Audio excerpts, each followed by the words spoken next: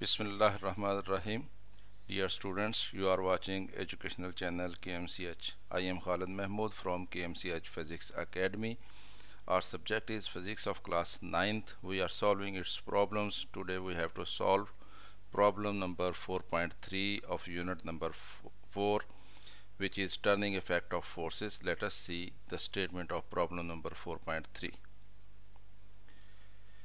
find the magnitude and direction of a force if its x component is 12 newton and y component is 5 newton कि हमें एक force है, उसके दोनों component दिए गए हैं एक्स कंपोनेंट दिया गया है कि वो 12 न्यूटन है और वाई कंपोनेंट दिया गया है कि वो 5 न्यूटन है।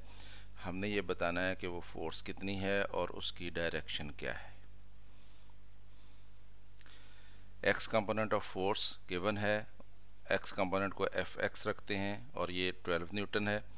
Y component of force given है, इसको एफ़ वाई रखते हैं और ये 5 न्यूटन है।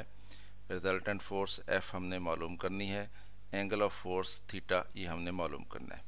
We know that F is equal to F X square plus F Y square और इसका square root square root of F X square plus F Y square कि एक्स कंपोनेंट का square लेना है प्लस वाई कंपोनेंट का square लेना है और फिर इनका स्क्वायर रूट लेना है तो हमारे पास फोर्स एफ़ आ जाती है।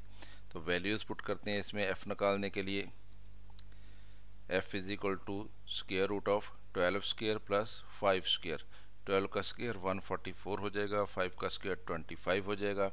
144 और 25 को ऐड करेंगे 169 हो जाएगा। और 169 का स्क्वायर रूट लेंगे तो ये 13 न्यूटन आ जाएगा। तो इस तरह से फोर्स जो है वो 13 न्यूटन होगी, जिसका एक्स कंपोनेंट 12 न्यूटन है और वाई कंपोनेंट 5 न्यूटन है। अब हमने इसकी डायरेक्शन भी बतानी है कि इसकी डायरेक्शन क्या होगी। We know that for direction theta is equal to tan inverse F Y over F X यहाँ पे एफ़ वाई की वैल्यू पुट करेंगे और यहाँ पे एफ़ एक्स की वैल्यू पुट करेंगे। और इसको सॉल्व करके उसका टेन इनवर्स लेंगे तो हमें थीटा मालूम हो जाएगा। वैल्यूज़ पुट करते हैं। Theta is equal to tan inverse F Y कितना था? फाइव न्यूटन और एफ़ एक्स कितना था? ट्वेल्व न्यूटन फाइव और ट्वेल्व बनता है zero point four one six six इसका टेन इनवर्स लेंगे कैलकुलेटर से तो ये बनता है twenty two point six degree तो इस तरह से हमने फोर्स भी मालूम कर ली, हमने उसका एंगल भी मालूम कर लिया। Thus the resultant force is 13 newton making an angle of 22.6 degree with X axis तो स्टूडेंट्स इस तरह से हमने ये क्वेश्चन जो है इसको सॉल्व कर लिया।